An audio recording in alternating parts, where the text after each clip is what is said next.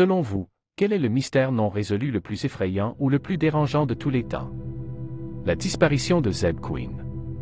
Il avait 18 ans lorsqu'il a disparu en 2000. Un jour, il faisait son quart de travail dans un Walmart avant d'aller regarder une nouvelle voiture avec un collègue. Soudainement, il a reçu un appel. Après qu'il a raccroché, il est parti du Walmart très vite. Il n'a jamais été revu ensuite. Le plus étrange est que quelques jours plus tard, sa voiture a été retrouvée dans un stationnement, avec les phares allumés, une paire de lèvres et un point d'exclamation dessiné sur la vitre arrière en rouge à lèvres roses, et un chiot labrador vivant assis à l'intérieur. En 2017, le collègue a été arrêté pour son meurtre, mais tous les détails étranges n'ont toujours aucun sens. Missy Bever un suspect en armure SWAT complète fait irruption dans une église et brise les fenêtres et ouvre les portes avec un marteau, à la recherche d'un instructeur de fitness local. Il la trouve ensuite et la bat à mort avant de s'enfuir. Il existe une vidéo de surveillance de haute qualité de lui et de sa voiture, mais les enquêteurs n'ont pas pu distinguer la plaque d'immatriculation. Il y a eu un suspect qui a été innocenté en raison d'un alibi, et il n'y a pas eu de mise à jour récente le meurtre de la petite John Benet Ramsey. L'idée que ses propres parents aient pu le faire est troublante, surtout compte tenu des circonstances. Aussi les meurtres de Katie Cabin. Non seulement la fille de 14 ans de l'une des victimes les a retrouvés ligotés et poignardés à mort, mais trois autres enfants dormaient encore dans la chambre, n'ayant aucune idée de ce qui s'était passé. À mon avis, c'est le déraillement du train City of San Francisco qui s'est produit à Ardennes au Nevada le 12 août 1939. Le train, exploité par le chemin de fer Southern Pacific à l'époque, a déraillé sur un pont au-dessus de la rivière Humboldt à une vitesse de 60 à 90 000 à la heure.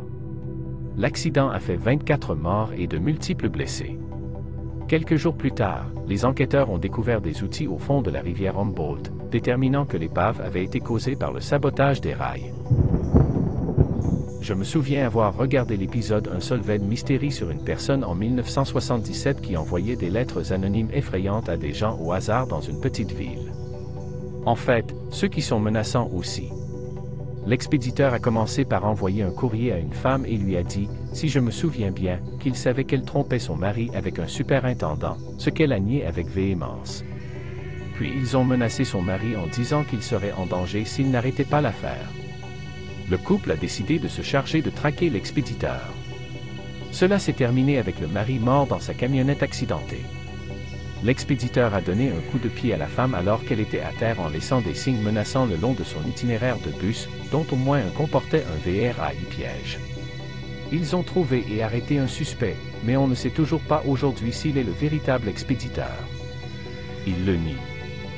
L'idée que quelqu'un a étudié discrètement votre vie juste pour pouvoir commencer à vous faire chanter anonymement, ou inventer une rumeur pour vous faire chanter, est sacrément effrayant. Addendum. En 2021, un professionnel de la médecine légale a affirmé que la police avait raison depuis le début et que le suspect, qui avait été libéré à ce moment-là, était l'expéditeur. Mais le trou énorme dans sa demande est de savoir comment il était encore capable d'écrire des lettres pendant son séjour en prison. Une autre moins connue qui m'est restée est Selina May.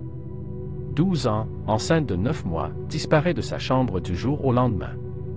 Elle n'a apporté aucun effet personnel avec elle et ni elle ni le bébé n'ont jamais été retrouvés. Son père et sa famille étaient impliqués dans une église louche, mais rien ne prouve qu'ils sachent ce qui lui est arrivé. La théorie évidente est que le père de son bébé l'a tué et a caché le corps pour éviter des accusations de viol statutaire, mais personne ne sait ou n'admettra savoir, de toute façon, qui il était. En 1969, une étudiante a été tuée dans les rayons de la bibliothèque de mon ancienne université, Penn State, et a été retrouvée avec un coup de couteau singulier sur la poitrine. Il n'était même pas tard ou quoi que ce soit, et même s'il y avait de nombreux suspects, personne n'a jamais été arrêté pour ça. C'est fou comment quelqu'un pourrait tuer une personne en plein jour dans une grande université et s'en tirer comme ça. Ce n'est pas vraiment quelque chose de super fou par rapport à d'autres histoires ici, c'est juste bizarre pour moi personnellement parce que j'y étudierai toujours et je ne l'ai découvert qu'après avoir obtenu mon diplôme. La disparition de Lars Mittank. Un Allemand qui est parti en vacances en Bulgarie en 2014. Il a été vu pour la dernière fois à l'aéroport où il a été amené dans une pièce privée par la sécurité de l'aéroport après que sa mère les a appelés pour leur dire que son fils se comportait de manière étrange, disant qu'il y avait des gens après lui sur le téléphone la veille. Quelques minutes plus tard, on le voit s'enfuir, et je veux dire en plein sprint hors de la pièce sans ses bagages. Il a couru hors de l'aéroport, a escaladé les énormes clôtures autour du périmètre et n'a jamais été revu.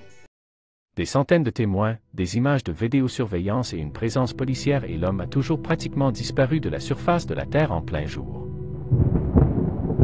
Au début des années 80, tous à moins de 18 mois d'intervalle, trois livreurs de journaux de la région de Des Moines, IA, ont tous disparu pendant leur trajet du matin.